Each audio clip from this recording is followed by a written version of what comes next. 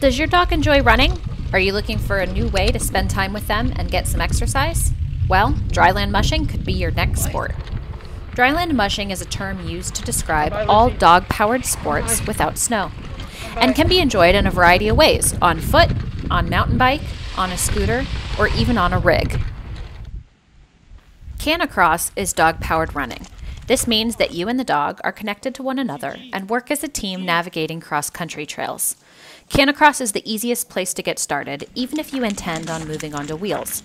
By connecting your dog and running or walking, you have a safe place to teach your dog all of the necessary cues, like left and right, or haw and gee, on by for passing distractions, whoa to stop, hike hike to get them moving, and line out to ask them to put pressure onto the line. Canicross is a great sport for people and dogs of right, all let's go. ages and sizes and is a wonderful way for you to get moving with your dog. Another form of dryland mushing is bikejoring. This is where the dog is attached to a mountain bike and runs out front. The same cues are used to safely direct the dog on the trails, with left and right, changes in speed, and even stopping. Bikejoring can be done on wide and flat trails or even on curvy mountain bike trails.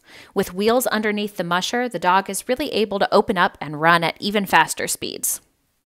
Bikejoring can be done with just one dog, but it can also be done with two, three, or four, depending on the size and strength of the dogs. Whenever you attach two dogs to each other, make sure that the dogs enjoy working with one another and both understand the different direction cues.